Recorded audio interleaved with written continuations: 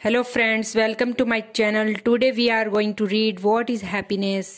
So first हम बात करते हैं happiness is an emotional physical and mental state of wellbeing second it is achieved by having a purpose and a sense of meaning in life Third, true happiness leads to stratification in life and is distinct from fun, which is an important part of a balanced life, but is a short-lived form of happiness. Fourth, true happiness based in meaning and purpose gives you a lasting feeling of contentment throughout your life.